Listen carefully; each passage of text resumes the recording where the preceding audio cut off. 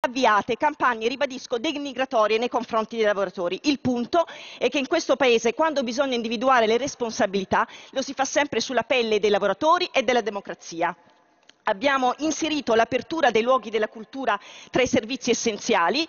Francamente non è la stessa cosa entrare nel Colosseo o entrare per doversi curare in un ospedale, ma allora se si tratta di servizi essenziali dovrebbe essere innanzitutto essenziale investire risorse corpose, potenziare gli organici invece di tagliarli, pagare i lavoratori con puntualità, garantire dei servizi di qualità. I custodi del Colosseo, solo i custodi del Colosseo sono 27, sono chiamati ad accogliere migliaia di turisti perché non si assume, Ministro, nuovo personale. Non abbiamo sentito traccia di tutto questo, nulla sulle sue responsabilità e sull'urgenza, questa sì è un'urgenza, non quel decreto, di politiche culturali sistemiche. Ancora una volta si attaccano solo i diritti dei lavoratori, se state pensando di attaccare anche il diritto di sciopero sciopero in questo Paese troverete un'opposizione ferma non soltanto qui dentro ma soprattutto fuori. Passiamo all'interrogazione 3719, onorevoli Rampelli ed altri, sulle problematiche relative al contratto di concessione della bigliettazione dei servizi di visita presso il Colosseo. Onorevole Rampelli, per un minuto, prego.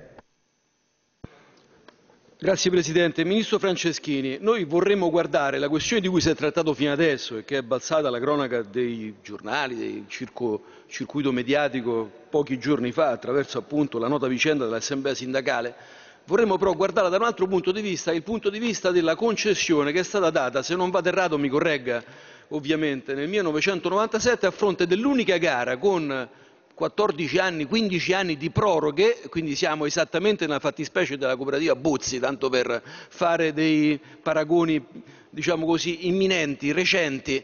Io penso che qualcuno ci dovrebbe spiegare la ragione per la quale non si sia mai proceduto per dare in concessione a un privato una parte importante. Pensiamo che il Colosseo con il Palatino, eccetera, fanno, come lei mi insegna, oltre 50 milioni di incassi, oltre 50 milioni di incassi di questi 50 milioni di incassi quasi il 70% viene incamerato da questa associazione temporanea di impresa che vive da 14 anni su proroghe e quindi su assenza di gare e su assenza di trasparenza nonostante quanto è stato eccepito dalla Corte dei Conti che ci ha anche detto che in buona sostanza il contratto è invalido perché viola tutte le norme sulla concorrenza stabilite dall'Unione Europea. Grazie.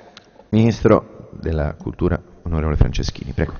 Sì, io ringrazio l'onorevole Rampelli perché mi dà modo, rispondendo alla sua interrogazione, di dire quanto stiamo facendo. È vero quello che ha ricordato, non, non, non, i numeri che ha detto, ma quello che ha ricordato rispetto al fatto che al Colosseo, come in molti altri luoghi della cultura, si è in presenza di servizi dati ai concessionari che sono in un regime di proroga da molto tempo.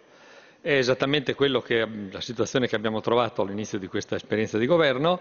Abbiamo valutato che fosse necessario mettere trasparenza nelle gare, maggiore efficienza nelle gare e per questo abbiamo eh, siglato un accordo con la Consip, che è la società pubblica che gestisce le gare per i servizi per la pubblica amministrazione, che per una